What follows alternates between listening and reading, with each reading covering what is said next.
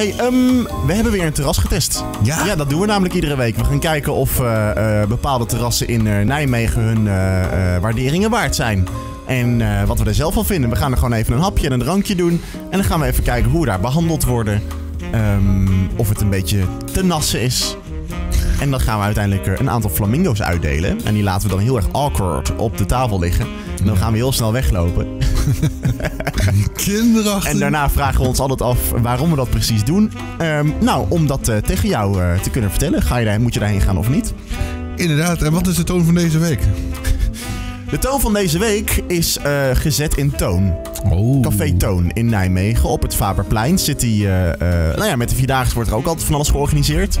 Ehm, ik ben er eigenlijk nog nooit geweest eerder. Dus ik wist ook niet wat ik kon verwachten. Ik dacht dat het wel een soort van kroegachtige vibe zou zijn. Eh, ik had een beetje zeg maar, verwacht dat het een modestraatcafé zou zijn voor eh, volwassenen. ja, dat had ik een beetje verwacht. Oké. Ja. Ehm, Nou ja, zover is dat ook weer niet ervan af. Nee, klopt. Ehm, maar dat schept wel bepaalde verwachtingen. Want ik vind bijvoorbeeld de kaart van, eh, van Buren redelijk uitgebreid. Nou, Voor eh, zoiets. Dus ehm, ik dacht dat is misschien bij Toon ook wel zo. nee. En zoals je inderdaad aan de twijfelende stem hoort, nee, inderdaad, helemaal niet gewoon. Nee. Want laten we beginnen bij jouw eh, mening. Wat vond jij ervan? Nou, kijk, sowieso, ehm, ik was niet echt eerder bij Toon geweest. Ja, ooit een keer tijdens de Vierdaagse in en uitgelopen, maar goed, dat telt niet. Ehm, in mijn hoofd was Toon altijd, zeg maar, een beetje een, een, een balletjestent.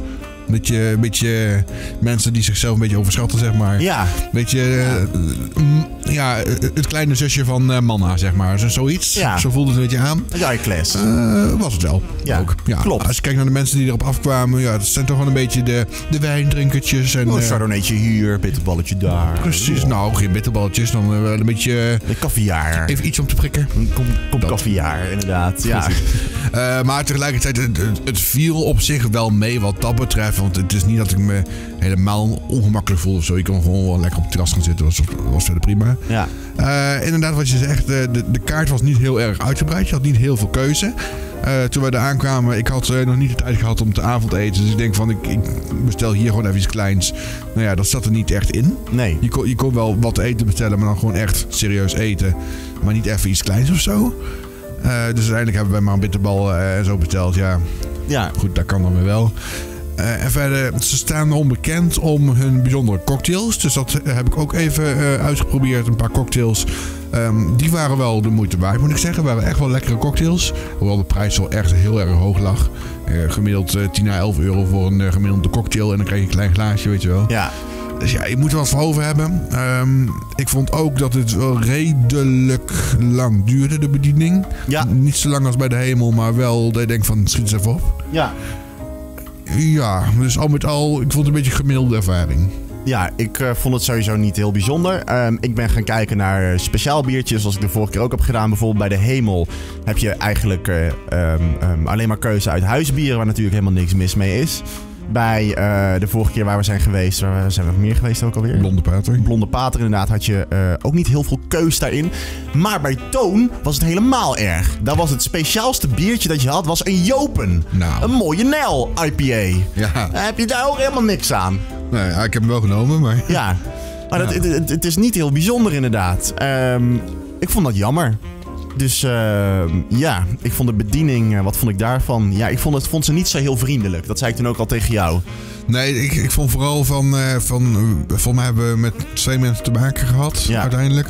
Ik vond zeker één van de twee, vond ik wel echt... Dat je dacht van, die wil gewoon snel moeten naar huis. Ja, die was echt aan het werk inderdaad. Zo keek ze, ja, zo keek ze krijg uit de ogen van, Ja. ja. hoe laat het is nou, eh, ben ik er al bijna. Ja, Nou, even dit dan nog. Ja, nee, het was niet echt eh, dat je denkt van, eh, heel gezellig. nee, en ehm, ehm, volgens mij kwam ze ook al spullen weghalen toen, toen je nog aan het, aan het, iets aan het drinken was, dacht ik. Ja. Dat, dat, dat viel ik ook al wel een beetje tegen. Ja, vragen of we nog iets te drinken willen, terwijl Ja. de nog half vol zat. Ja, precies. Ja.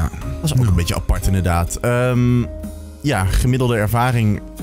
Ik vond het matig. Gewoon niet zo heel leuk. Nou, Ik zou er niet nog een keer heen gaan. Misschien als ik er 80 ben een keertje. Ja. Maar, ja. ja, nee, nee, ja, nee. Matig inderdaad, wat dat betreft. Ehm, maar we zijn wat dat betreft wel redelijk coulant geweest met het aantal flamingo's dat we hebben uitgedeeld. ja, zeker omdat we ook eh, de hemel hebben er uiteindelijk eh, drie gegeven. En eh, we vonden dit niet echt te vergelijken op het moment dat we daar zaten.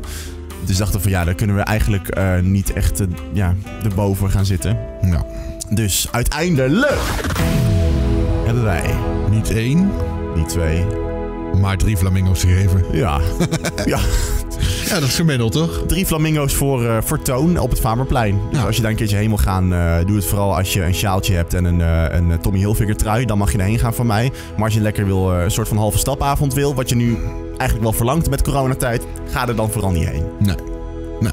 Het, is gewoon een oké kroeg, maar niks bijzonders. Nee, precies. precies. Goed, aankomende week gaan we er weer eentje testen. En dat is een hele bijzondere. We hebben, ehm, normaal gesproken hebben we hier een emmertje staan waar we een briefje uittrekken. Dat hebben we voor de uitzending alvast gedaan. Ja. Even om praktische redenen. Eh, en waar gaan wij aankomende week naartoe? Nou, daar gaan we dan. Naar Ga naar. Niet zomaar een café. Strandbar. Stak! Ja. Ja, bij de Fasim daar. Gloednieuwe strandbar met strand. Ik ben heel benieuwd, ik ben er nooit geweest. Ik ook niet. Ik wist eigenlijk ook niet dat het bestond totdat ik laatst een keer strandstoelen zag, sta- zag staan daar. Toen ik daar foto's ging maken. Ehm, en ik heb geen idee. Ik heb het even opgezocht en het ziet eruit alsof je in Zeeland eh, bij een eh, strandtentje zit ergens of zo. eh. Ja. Het ziet er eh, heel leuk uit. Ja, Of het ook heel leuk is, dat eh, gaan we volgende week weten. ja, inderdaad. Goed, voor nu is het tijd voor nieuwe muziek van eh, de dochter van Eddie Vedder van Pearl Jam. Oeh. Heel bijzonder liedje, heel rustig liedje, even lekker calm down. Maar er is meer nieuwe muziek.